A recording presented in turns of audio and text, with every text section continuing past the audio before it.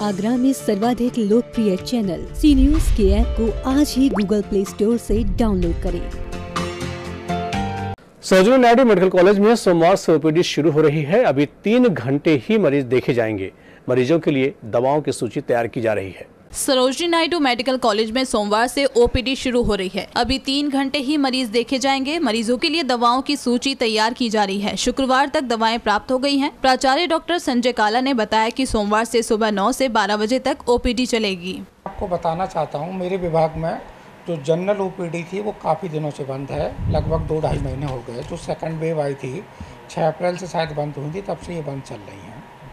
लेकिन जो डॉट्स वाले मरीज़ थे जो टीबी वाले सीरियस मरीज़ थे, उन्हें देखा जा रहा था, उन सारे मरीज़ों की जाँच की जा रही थी और उन्हें दवा भी दी जा रही थी।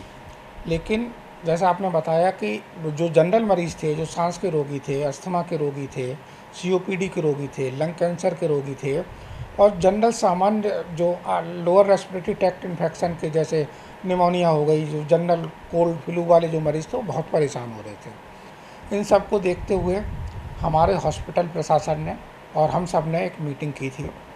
और उसके तहत प्रधानाचार्य महोदय ने इसी मंडे से 9 से 11 तक पर्चे बनेंगे और 12 बजे तक ओपीडी देखी जाएगी और प्रतिदिन 100 मरीज़ तक हर ओपीडी में देखे जाएँगे। ये डिसाइड हुआ था।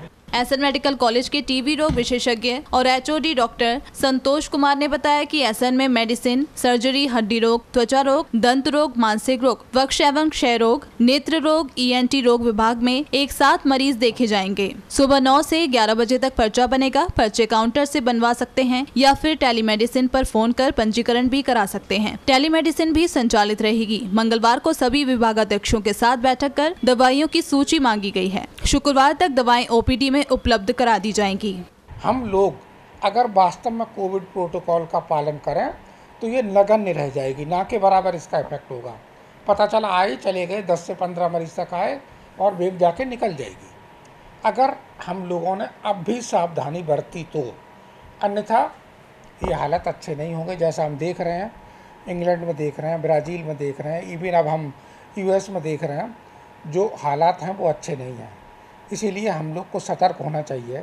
सारी आम पब्लिक को सोचना चाहिए, बगैर मास्क लगा के ना निकलें। बाज़ार जाना है तो भीड़ वाली जगहों पर जाने से बचें। ऐसा नहीं है, आराम से पूरा दिन मार्केट खुलता है तो वो अपने हिसाब से अपना टाइम एडजस्ट कर सकते हैं और सारा काम भी कर सकते हैं। बट कोविड प्रोटोकॉल का पालन ज़रूर करें।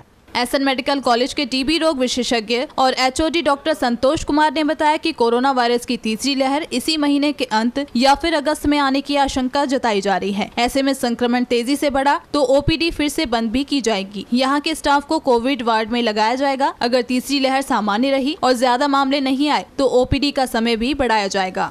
सी न्यूज़ के लिए लक्ष्मीराज सिंह की रिपोर्ट।